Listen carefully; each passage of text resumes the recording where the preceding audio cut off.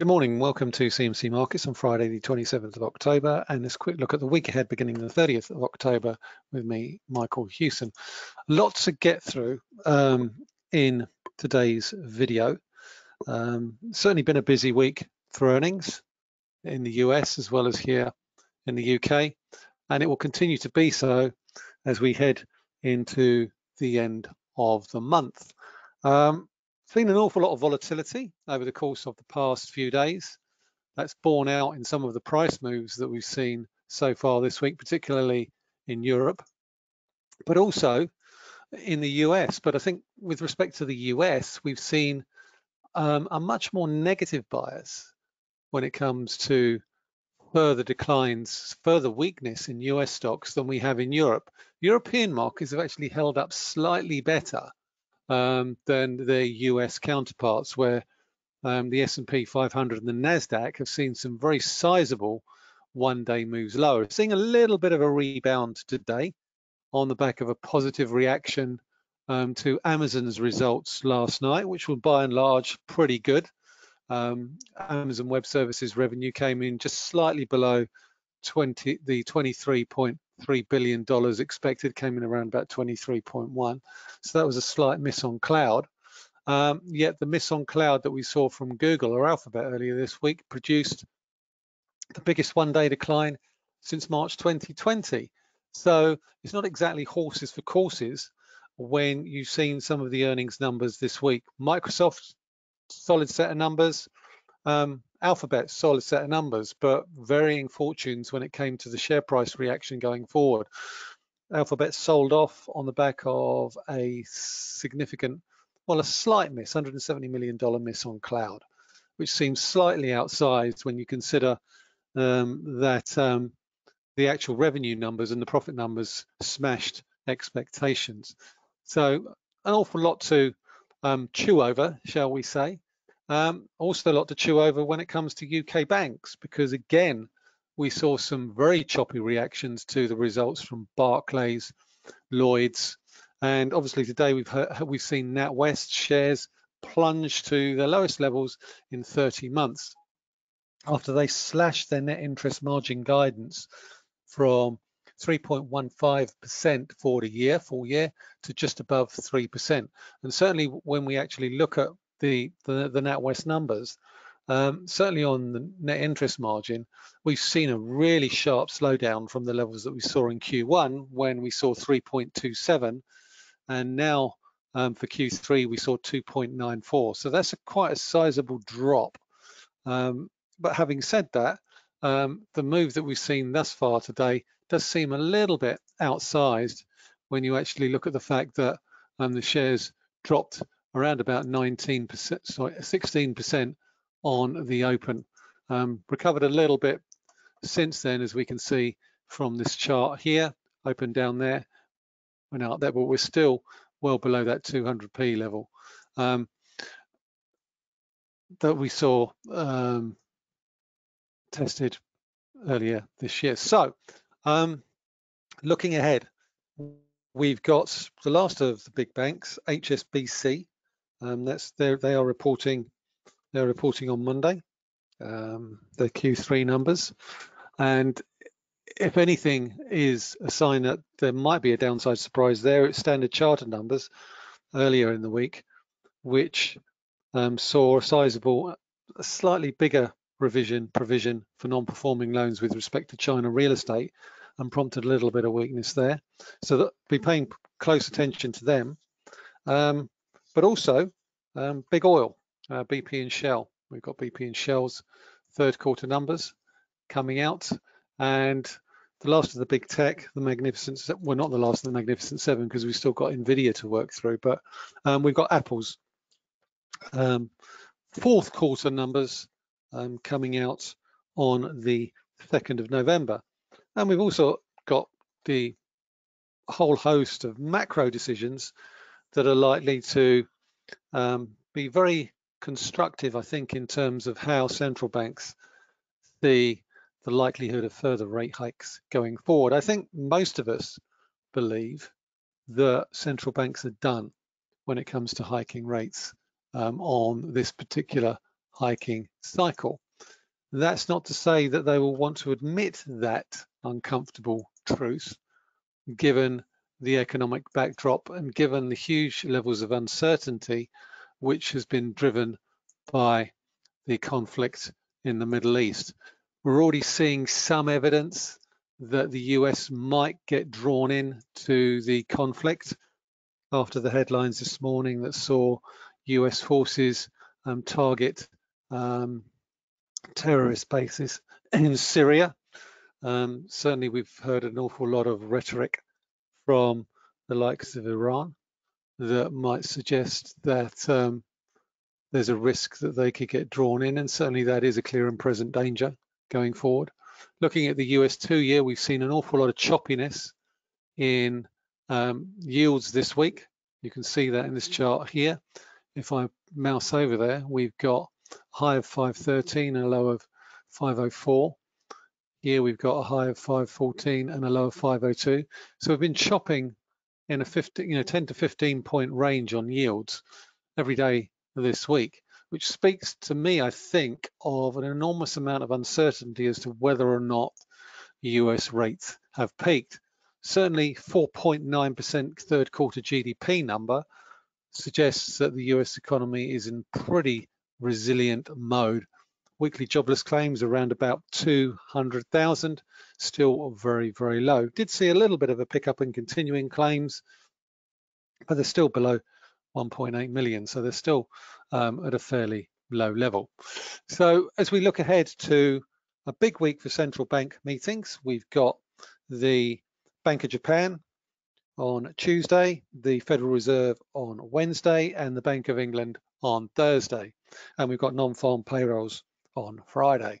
So in terms of macro and in terms of earnings, it's a huge week. So let's get started on some of the key levels um, that we are looking at over the course of the next few days. FTSE 100 held up reasonably well thus far this week. We can see that from the price action Monday, Tuesday, Wednesday, Thursday, Friday.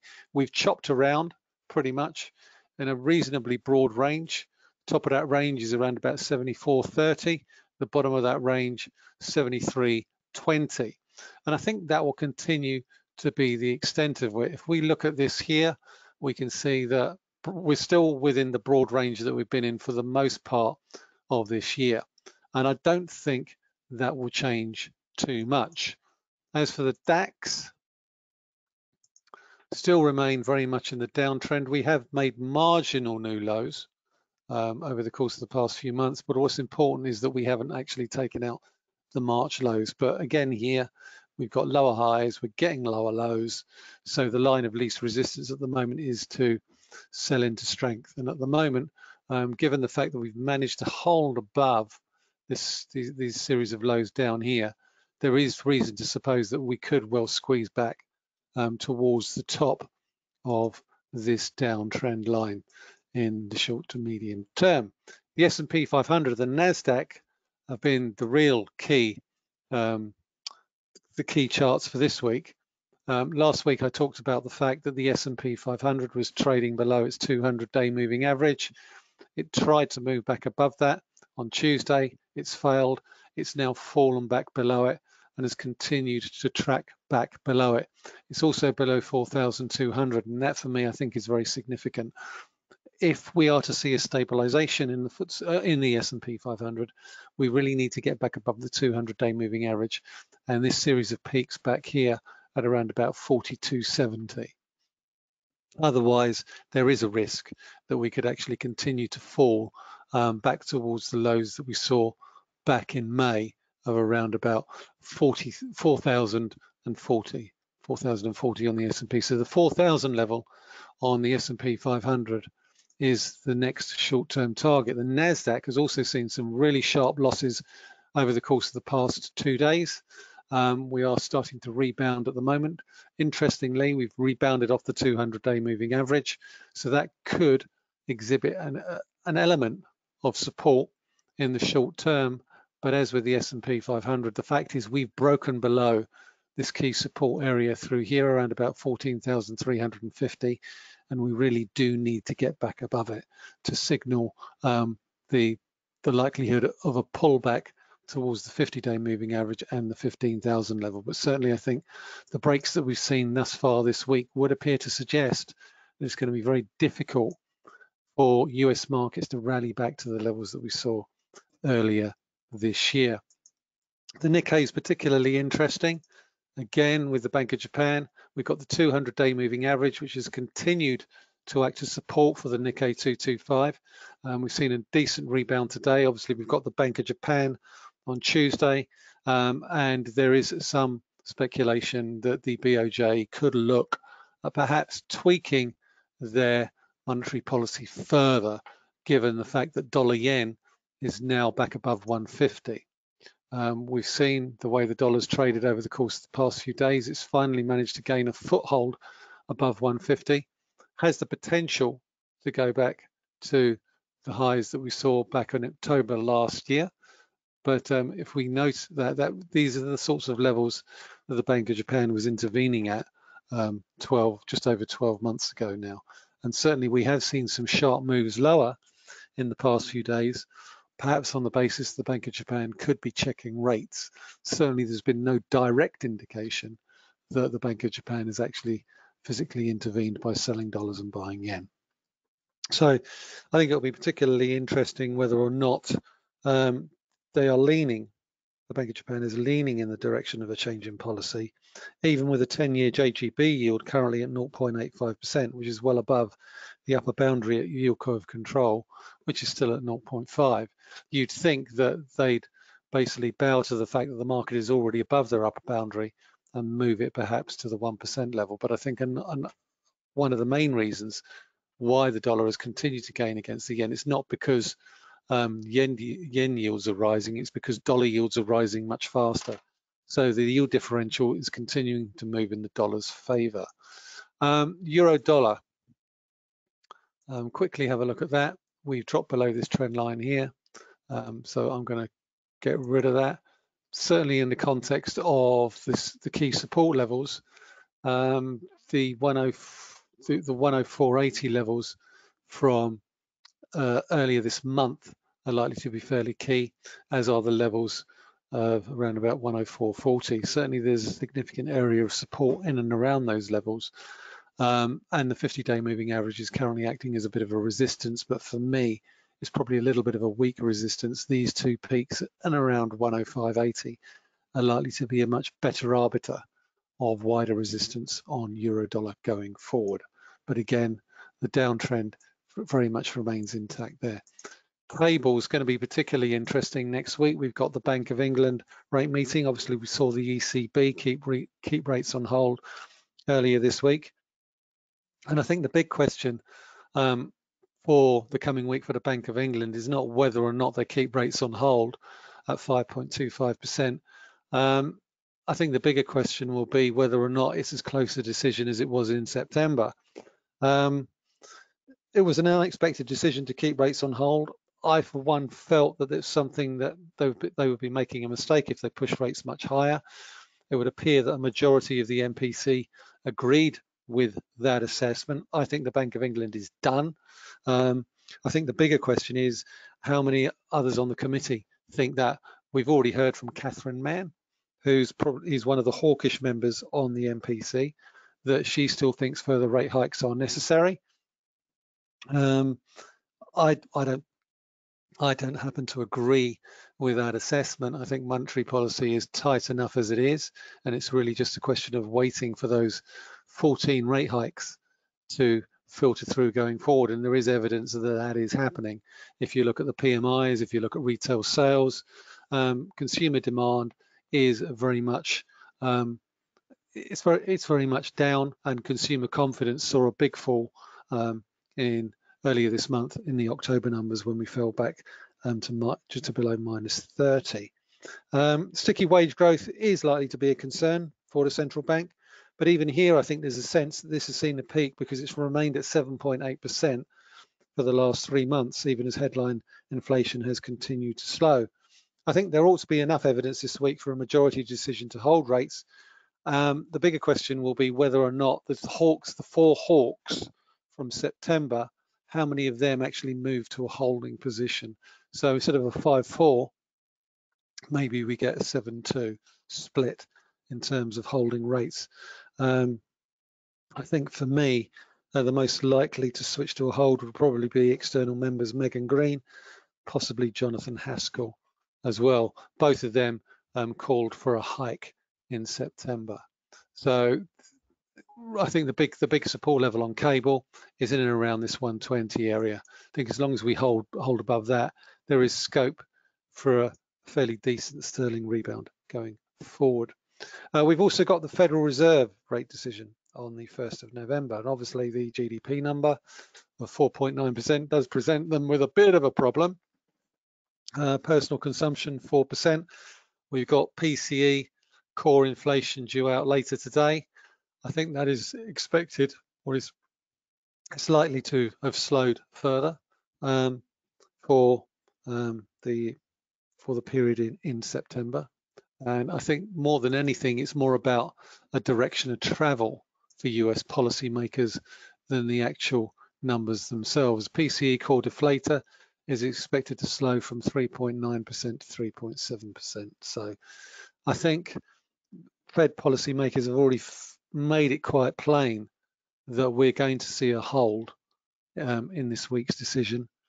Um, I think as we head into Q4, US consumption patterns, while they've remained resilient, are unlikely to be uh, they're unlikely to um, continue at the sort of level that we saw in Q3. And with those GDP numbers, we did see a significant slowdown in pricing pressures from 3.7% to 2.4%. So I think another hold. They'll obviously keep the option open for a December hike going forward. I think that's eminently sensible. But I, I, I, I'm of the opinion that I think in the absence of any um, upside surprises when it comes to wages, inflation and what have you, the Fed is probably done when it comes to rate hikes. Now, obviously, oil prices could play a part in that, making inflation more sticky. But I think hiking rates in response to our um, higher oil prices is basically a double whammy for hard-pressed consumers and is likely to be of very fairly limited use, particularly when you've got US mortgage rates at 8%. Um, that's um, quite an eye-watering uh, level.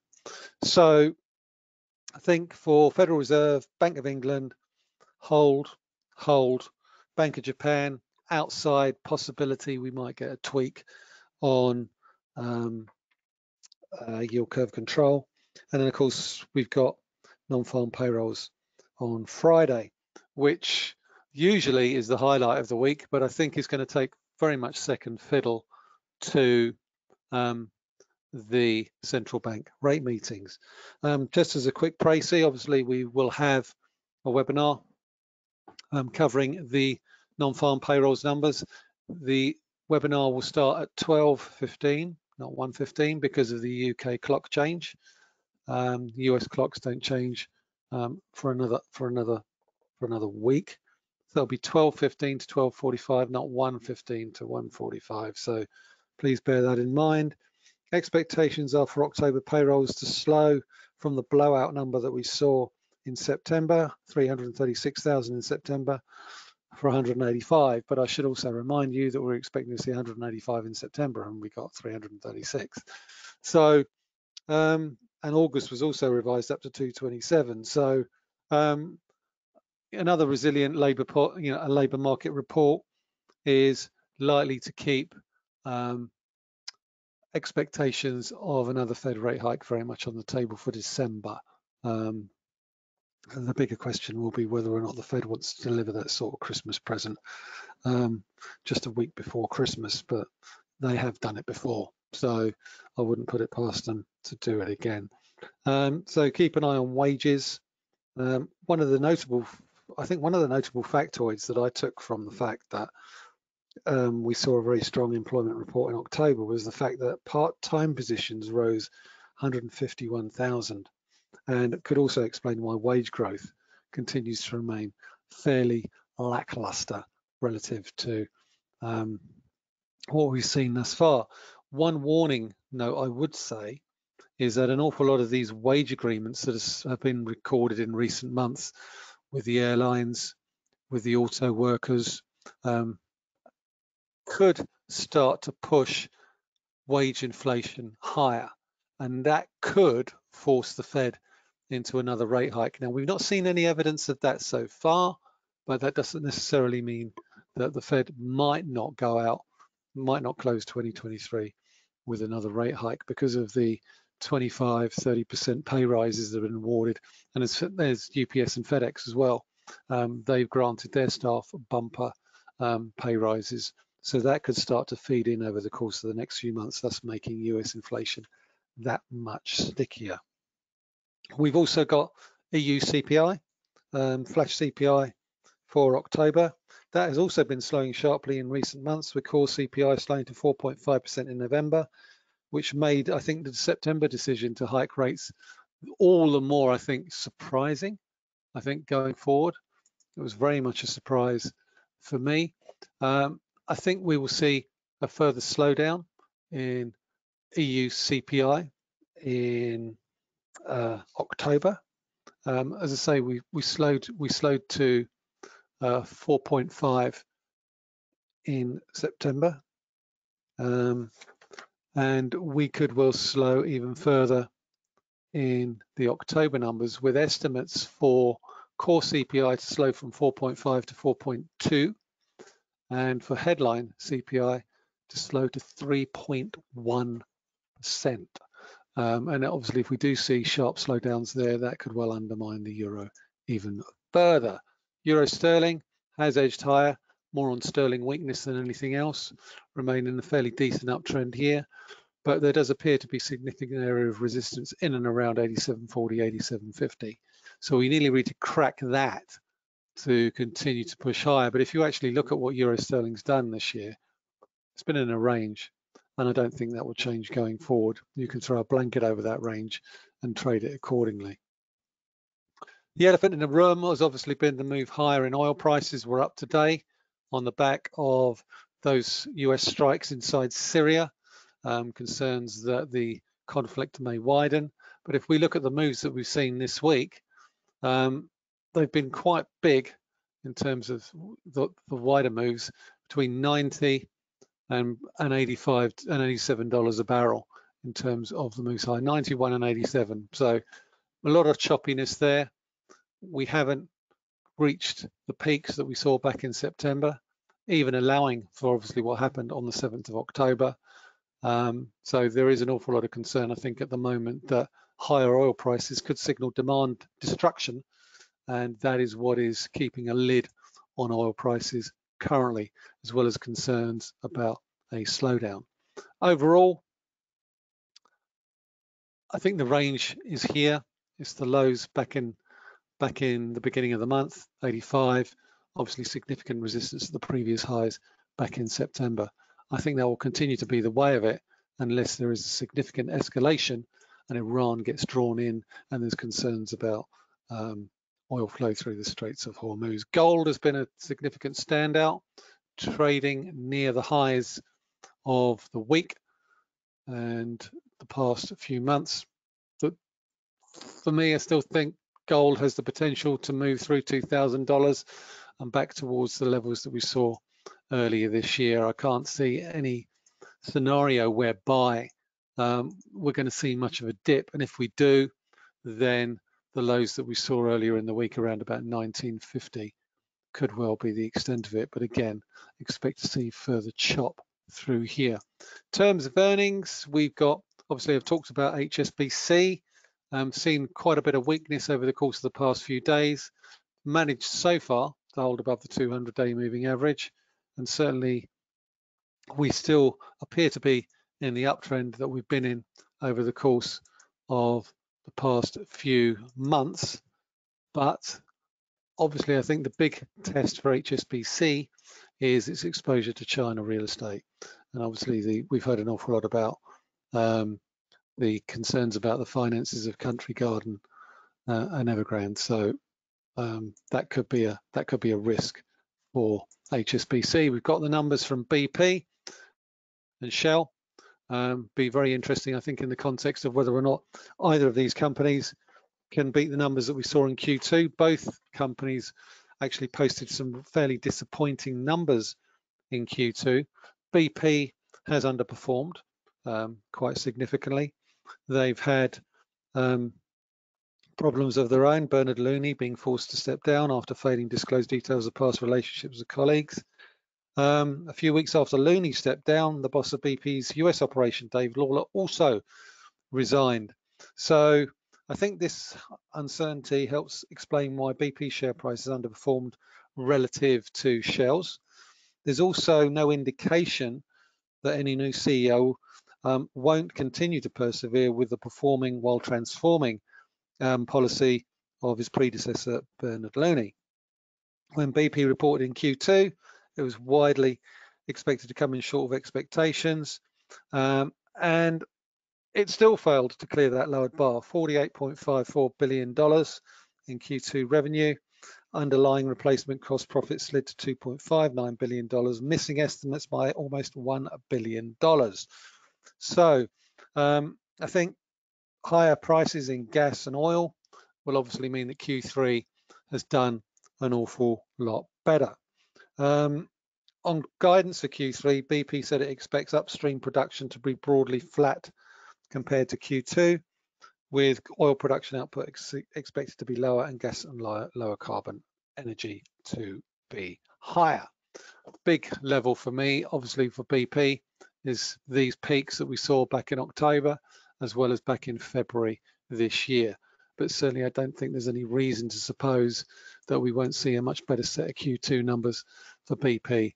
Um, Shell hit new record highs um, and continues to go from strength to strength. Um, and you can put the gain, I think you can put the acceleration and the gains down to that time when the new CEO, um, Wael Sawan, pushed back on the previous strategy of renewables at any cost back in June. If we look at June, um, this was when the pushback happened, and since then we've seen a significant acceleration or on the gains in the Shell share price. Like BP, Shell reported um, a shortfall in profits and revenues in Q2, largely due to lower natural gas and crude oil prices that occurred over that quarter. Obviously, since then, we've seen a fairly solid rebound. It also, I think, blamed problems in its chemi chem chemicals division, which had a difficult quarter, which slid to a loss of 468 million dollars. So, you know, there was a little bit of a weak spot there. Um, for Q3 on the outlook, um, Shell did downgrade its expectations for capital expenditure by $1 billion to between 23 and 26 billion dollars. It announced a 15% divvy increase as well as a $3 billion share buyback program for Q3, so it should have completed that. Um, upstream profits should um, probably be better than they were in Q2, as in downstream. Whether or not they'll be anywhere near as um, big as they were last year is a moot point. But ultimately, I think the, the desire to focus on the legacy business more to and, and, and away from renewables is certainly good in terms of the gains that we've seen in the shares. Uh, the bigger question is whether or not that will continue to be sustainable. Certainly there's an awful lot of pushback um, on that from external forces, but I think what one of the things the CEO has shown is he's not really afraid to make difficult decisions when it comes to delivering for shareholders. We're going to finish off with Apple. This is interesting, the fact that the Apple share price has dropped below the 200-day moving average. Um, obviously, their Q4 numbers are due out. Um, they've had problems with um, the new iPhone Platinum overheating, there's been talk about that. Um, Q4 revenue is expected to fall modestly to $89.29 billion, with profits expected to rise to $1.39 a share. On an annual basis, because obviously these are the Q4 numbers, revenues are expected to fall to $383 billion and profits to $6.07 a share. So I think one of the notable features of this particular quarter will be, or the particular focus will be on iPhone demand, because this will be the first full quarter that, that um, Apple has had to go up against the new Huawei device, which could have well have cannibalized its Chinese sales. And China sales for Apple make up 20% of its overall revenue. So this break below um, the September lows and the 200-day moving average could be significant um, over the course of the next few days, particularly if the shares do miss expectations on their Q4 numbers going forward. So that's pretty much it for this week. A lot to get through, a lot to chew over there, a lot to get through. Um, so um, hope you all have a nice weekend. Um, and don't forget, non-farm payrolls next week starts at 12.15, not 1.15, because of the clock change. So have a great weekend and hopefully speak to you all next week. Thanks for listening.